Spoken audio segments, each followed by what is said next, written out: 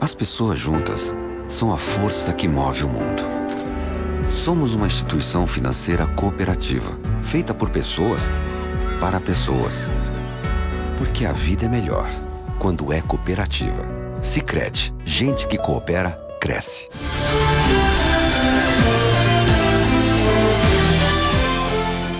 Segundo informações, durante a madrugada desse sábado, 31 de outubro, uma colisão frontal na ERS 715, estrada que liga Sentinela do Sul a BR-116, deixou uma vítima fatal.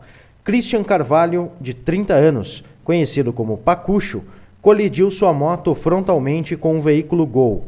Ele não resistiu aos ferimentos e faleceu.